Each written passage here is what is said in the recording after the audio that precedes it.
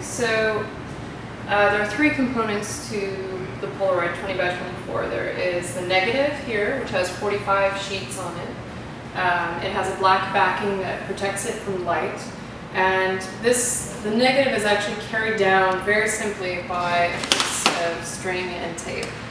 Um, and it's guided down in a track along the sides. And it meets up with the positive receiving paper, which is down here. Um, and both of them are going through a set of rollers here. I'll just show you.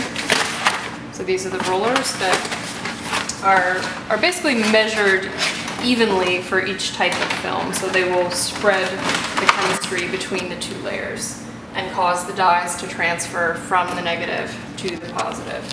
And this is the, the pod tray. So these are pods of reagent, uh, which are what cause that reaction of the dyes to transfer.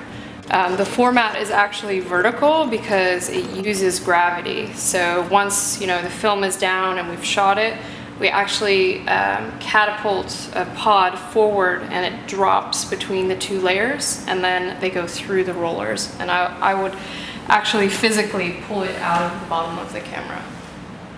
Cool.